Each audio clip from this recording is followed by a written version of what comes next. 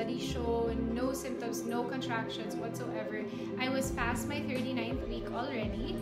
And sabi ng doctor namin na if wala pa rin talaga by that time, by that day, then we'd have to go and get an ultrasound just to see if everything's okay, if my amniotic fluid was intact and everything, which it was. And It's actually a lot. marami pa. And then when we went there, the doctor said na, okay, marami pa and, and you and everything. So, okay. And then on the way back, you remember, I, I felt like my stomach tightening. Yeah. Prior to that, I never knew what a contraction felt like. But then that time, I felt my stomach kind of getting tighter. But I had to ask you, Pat. It didn't hurt, right? No, it didn't hurt. It, I just felt that it changed. So I had to ask you, love, is it tight? And then you It was really was. hard. It was Yeah. it was rock hard. So then when we got home, we chilled for a bit and then I took a shower. And then right after, nagpa-swab test ka dito sa baba. Yes. And while I was upstairs, this was around 7.30, bigla na lang nag-break yung water ko. And I was always told na it's not like the movies na it's a gush and everything. Sometimes it's just a trickle, so you won't know the difference. But mine was like a gush. It was like a puddle underneath Yeah. her, so it was a lot of water that was Okay, just it's like it's like a like a regular pee. And then with that, nakita ko na rin yung mucus plug ko. So it kind of all came at the same time. So I saw the I mucus plug. I you did. I showed it to you, diba? Na Ah, nasa yeah, yeah, yeah, yeah, yeah. Yeah, but he was downstairs. He was getting his swab test done. Tapos sabi ko, love! Love! Eh, syempre, I can't naman shout na my water broke kasi there were strangers in the house. Yeah, And love. That's So, all you yeah, heard. so love. And then I ran upstairs. Parang was like a medyo annoyed club. pa siya kasi syempre nagpapaswab test. Tapos tinatawag ko siya. Sakit kaya? Anyways, I, I ran upstairs.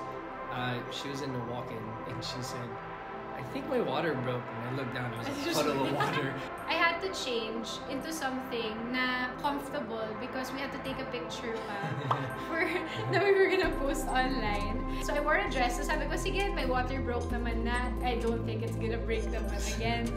I was so wrong because when I was setting up the tripod to take the picture, nag-break na naman. The water was everywhere. And Luis was stepping on it. so gross. but it was funny when we got down. Like, I swear, it was the most professional thing I've ever seen. Yun pala yun, yung water stain sa dress niya sa Yeah. likod. She was like, tara, bilisan na natin kasi my water broke. And we were like, oh my god. And ako eh kasi if naman, I give birth all of a sudden, we can't take that. Na-set up na natin eh. Yeah, na-set diba? up na Ang namin bigat lahat. kaya ng mga yun. oh, sinet pa niya yung camera ha. Yun nga, ha, while I was squatting and fixing the tripod, which somebody else could have been doing, nag-water na naman, ang daming water na naman lumabas. So I just kept coming out. And that's one of the um, misconceptions, I guess. Because I thought once your water breaks, yun na yun.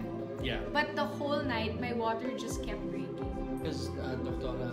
Granada told you that you had a lot of water. Yeah, I didn't realize how much though. It was so much because it just kept breaking and breaking the whole night. Relax na relax kasi wala pang contractions and walang anything. But if your mucus plug comes out, you have anywhere between like a day or a Anywhere week. from 10 hours Yeah. to. Yeah, so, you know, medyo matagal-tagal pa. That's why I was waiting for those signs and they never came. And when your water breaks, yun yung talagang you have to give birth soon. Kasi that's normally the last thing that Yeah. happens na Before uh, that's why may mga iba nga na kailangan pa i-break yung water nila eh, kasi hindi pa. pa nag-break. So, this one, it, it really happened early. So, ang ginawa ko, I walked around the house, nag-squats pa ako, I got on my yoga ball and I started doing hip rotations. I started drinking a lot of red raspberry leaf tea and that actually made me feel contractions. Pero wala pa rin yung talagang yung contractions na regular, I think, that I could feel.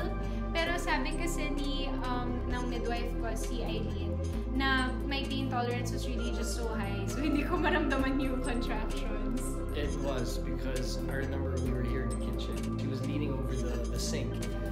She was already contracting then. And but she didn't know. She kept on asking, Am I am I having contractions? Can you check if my if it's getting hard again? Or basta it, it wasn't the normal feeling that she should be in pain or anything. No, she didn't even know that she was actually like about to give birth. But Eileen checked me and I was 2 centimeters dilated. So medyo malayo pa naman talaga. Yeah. And then at around 2 a.m., yun yung dito, nandito kami downstairs in the sink and I was bending already, Yeah. that's when I started to feel the surges and the waves. And when we were timing them, they were already two minutes apart. So actually, nasa active labor na ako nung time na yun. I was already transitioning. So like, okay, whoa, I have to go upstairs. Yeah. So when we went upstairs, everything was uh, fixed already. Sila yung nag-inflate ng pool. we were figuring it out through the process, but yung medyo na ano kami dun sa tubig, ang dami pa na malaki siya. So it takes a while because they said to inflate it will take like about 15 20 minutes, but to put the water there will take another 45 minutes. So Yeah. and then heat it up pa And- kasi it has to be a certain And degree. we don't know. Kasi normally, I, I had have to go inside the pool to push na. Pag nandyan na talaga. And you never know really when that's coming. So the the pool has to stay hot. So yun yung mahirap. They just had to keep heating the Yeah. pool over and over. So thank God for the kettle and the heaters because yeah. they did their job that day. Honestly, you know, from the midwife and uh, the doula, they were all like trying to pour water in and trying to get the right temperature for for Coleen to give birth in. And but it did start and it did stop there. It took